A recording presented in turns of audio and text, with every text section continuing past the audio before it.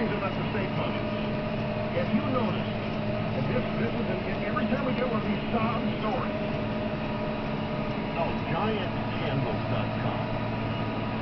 One of them, we get these sob stories, the state's running out of money, oh no, it's terrible. Have you always noticed that when the state is running out of money, the stories always focus on cuts in quote-unquote essential services.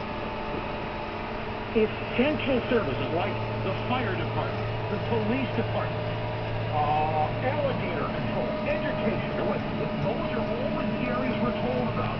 We're going to have budget cuts, all these essential services. And you notice we never, ever hear about cuts in the bureaucracy of these states. We never, ever hear the state is never going to cut back itself. The state's never